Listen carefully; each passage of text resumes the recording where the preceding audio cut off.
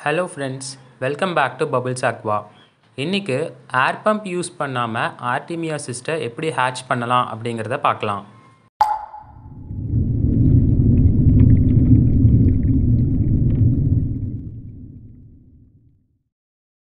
இந்த வீடியோவில் artemia cysts air pump use பண்ணாமல் எப்படி ஹேட்ச் பண்ணணும் அப்படிங்கிறத பார்க்கலாம்.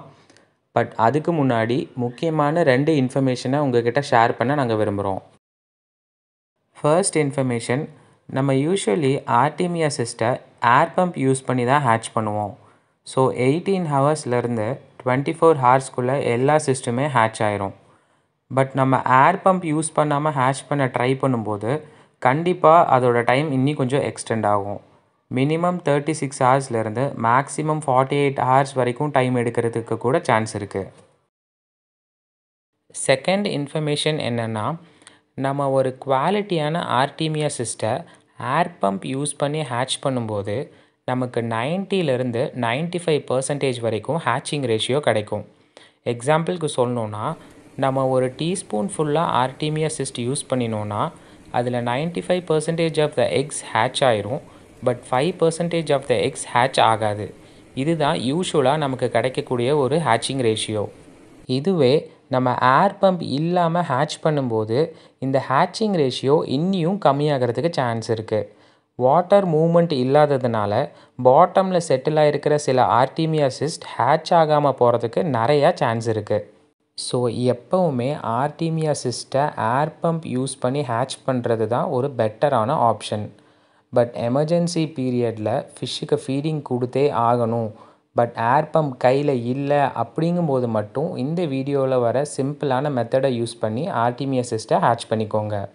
ஆர்டிமியா சிஸ்டை ஹேட்ச் பண்ணுறதுக்கு நம்ம பிளாஸ்டிக் கண்டெய்னர்ஸ் யூஸ் பண்ணலாம். இல்லைனா கிளாஸ் கண்டெய்னர்ஸ் கூட யூஸ் பண்ணலாம். ஸோ நாங்கள் இன்றைக்கி இந்த ஸ்மால் சைஸ் டிஸ்பிளே டேங்க் தான் யூஸ் பண்ண போகிறோம் ஆர்டிமியா சிஸ்டை ஹேட்ச் பண்ணுறதுக்கு வாட்டர் டெம்பரேச்சர் டுவெண்ட்டி ஃபைவ்லேருந்து டுவெண்ட்டி எயிட் டிகிரி செல்சியஸ் வரைக்கும் இருந்தால் பெட்டராக இருக்கும். சப்போஸ் டெம்ப்ரேச்சர் கம்மியாக இருந்தாலோ இல்லை வாட்டர் சில்லாக இருந்தாலோ ஹேட்ச் ஆகிறதுக்கு ரொம்பவுமே லேட் ஆகும். சப்போஸ் நீங்கள் ஒரு பெரிய கிளாஸ் கண்டெய்னரை யூஸ் பண்ணுற மாதிரி இருந்துச்சுன்னா நீங்கள் தாராளமாக ஒரு ஹீட்டரை ப்ளேஸ் பண்ணி டுவெண்ட்டி எயிட் டிகிரி டெம்பரேச்சரை செட் பண்ணி ஹேட்சிங் பண்ணலாம். நாங்கள் ஒரு சின்ன டிஸ்பிளே டேங்க் யூஸ் பண்ணுறோம் ஸோ ஹீட்டர் ப்ளேஸ் பண்ண முடியாது அப்படிங்கிறனால மேலே இந்த லைட்டை ஃபிக்ஸ் பண்ணியிருக்கோம். இந்த லைட் யூஸ் பண்ணுறனால வாட்டர் வார்மாக இருக்கும் டெம்பரேச்சர் கொஞ்சம் மெயின்டைன் ஆகும். ஸோ இது ஹேட்சிங்க்கு ரொம்பவுமே ஹெல்ப்ஃபுல்லாக இருக்கும். ஆர்டிமியா சிஸ்டை ஹேட்ச் பண்ணுறதுக்கு நம்ம ஏஜ்டு அக்வாரியம் வாட்டர் இல்லைன்னா ட்ரிங்கிங் வாட்டர் தான் யூஸ் பண்ணணும் அப்படிங்கிறது அவசியம் இல்லை. நம்ம டேப் வாட்டர் இல்லைன்னா போர் வாட்டரே தாராளமாக யூஸ் பண்ணிக்கலாம். ஸோ நாங்கள் one litre tap water use பண்ணி இந்த ஆர்டிமியா சிஸ்டை ஹேட்ச் பண்ண போகிறோம் நம்ம இந்த ப்ராசஸில் வாட்டரோட பிஹெச் லெவல் பேலன்ஸ்டாக இருக்கணும் அப்படிங்கிறதுக்காக பேக்கிங் சோடா கொஞ்சம் யூஸ் பண்ண போகிறோம் ஆர்டிமியா சிஸ்டை ஹேட்ச் பண்ணுறதுக்கு வாட்டரோட பிஹெச் லெவல் மினிமம் எயிட்டாவது இருக்கணும். நம்ம டேப் வாட்டரோட பிஹெச் லெவல் சிக்ஸ் பாயிண்ட் ஃபைவ்லேருந்து எயிட் பாயிண்ட் ஃபைவ் வரைக்கும் எப்படி வேணாலும் டீவியேட் ஆகும். ஸோ நம்ம பேக்கிங் சோடா யூஸ் பண்ணும்போது அந்த வாட்டரோட பிஹெச் லெவல் பேலன்ஸ்டாக இருக்கிறதுக்கு ரொம்பவுமே ஹெல்ப்ஃபுல்லாக இருக்கும்.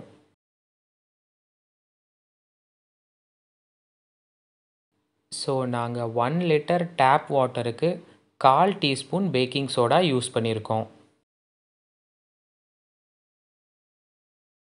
அடுத்ததாக இந்த ப்ராசஸில் நம்ம கொஞ்சம் கல்லுப்பு யூஸ் பண்ண போகிறோம் ஆர்டிமியா அதிகமாக உப்புத்தன்மை இருக்கக்கூடிய இடத்துல மட்டும்தான் உயிர் வாழும். நம்ம கல்லுப்பு யூஸ் பண்ணும்போது வாட்டரில் உப்புத்தன்மை அதிகமாகும். ஸோ ஆர்டிமியா சிஸ்ட் ஹேட்ச் ஆகிறதுக்கு இது ரொம்பவுமே ஹெல்ப்ஃபுல்லாக இருக்கும். நாங்கள் ஒன் லிட்டர் டேப் வாட்டருக்கு ரெண்டு டேபிள் ஸ்பூன் கல் உப்பு யூஸ் பண்ணியிருக்கோம். கல் உப்பு யூஸ் பண்ணுறதை விட எப்சாம் சால்ட் இல்லைனா அக்வாரியம் சால்ட் யூஸ் பண்ணால் இன்னியும் பெட்டராக இருக்கும்.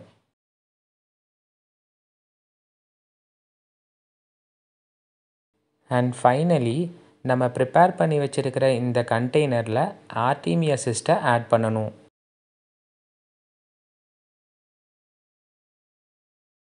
நாங்கள் ஒன் லிட்டர் டேப் வாட்டருக்கு one table spoon artemia use பண்ணியிருக்கோம்.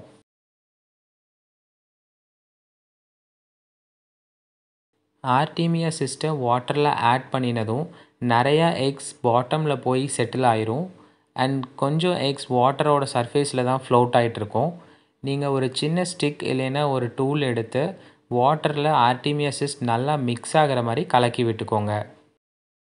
நீங்கள் இந்த மெத்தடை ஃபர்ஸ்ட் டைம் ட்ரை பண்ணும்போது half table spoon artemia cyst மட்டும் யூஸ் பண்ணுங்கள் ஸோ உங்கள் ஃபஸ்ட் எக்ஸ்பெரிமெண்ட்டில் அவுட்கம் எப்படி இருக்குது ரிசல்ட் எந்த அளவுக்கு நமக்கு கிடைக்குது? அப்படிங்கிறத பேஸ் பண்ணி நெக்ஸ்ட் டைம்லேருந்து half table spoon artemia use பண்ணலாமா?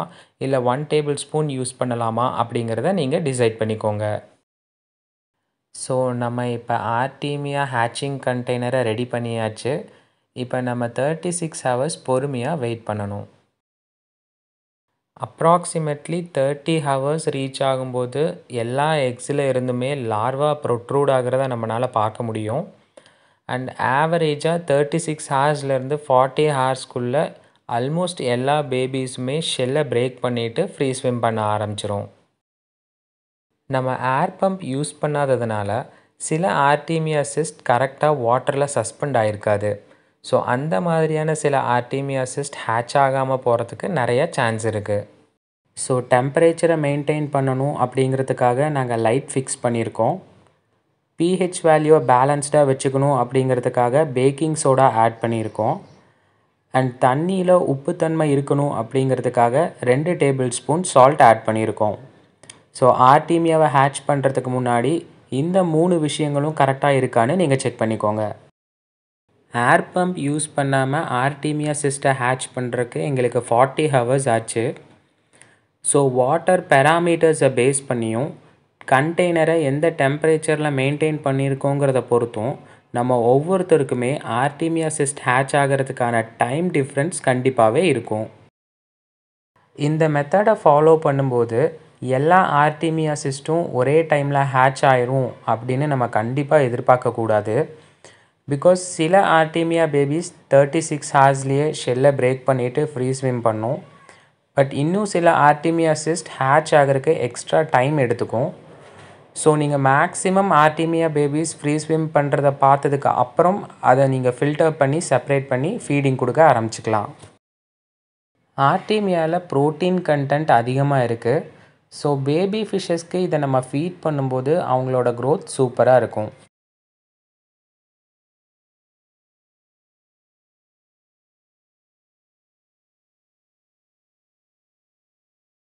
ஆர்டிமியா சிஸ்டை ஏர் பம்ப் யூஸ் பண்ணி எப்படி ஹேட்ச் பண்ணணும் அப்படிங்கிற வீடியோவை நாங்கள் ஆல்ரெடி போஸ்ட் பண்ணியிருக்கோம். அந்த வீடியோவை நீங்கள் இன்னும் பார்க்கலன்னா இந்த வீடியோவில் இருக்கிற டிஸ்கிரிப்ஷனில் லிங்க் இருக்குது அந்த லிங்க்கை யூஸ் பண்ணி அந்த வீடியோவை பாருங்கள் எங்ககிட்ட குவாலிட்டியான ஆர்டிமியா சிஸ்ட் அவைலபிள் இருக்குது அது மட்டும் இல்லாமல் air pump air stone air tube controller இது எல்லாமே அவைலபிள் இருக்குது உங்களுக்கு ஏதாவது தேவைப்பட்டுச்சுன்னா எங்களை காண்டாக்ட் பண்ணுங்கள் எங்கள் காண்டாக்ட் டீட்டெயில்ஸ் இந்த வீடியோவில் இருக்கிற டிஸ்கிரிப்ஷனில் இருக்குது இந்த வீடியோ பார்த்ததுக்கப்புறம் ஏதாவது டவுட்ஸ் இல்லைன்னா ஃபீட்பேக் இருந்தால் கண்டிப்பாக எங்களுக்கு கமெண்ட் பண்ணுங்கள் நாங்கள் உங்களுக்கு ரெஸ்பாண்ட் பண்ணுறோம் நெக்ஸ்ட் வீடியோவில் வேறு ஒரு நல்ல கண்டென்ட்டோடு உங்களை மீட் பண்ணுறோம் அன்டில் தென் குட் பை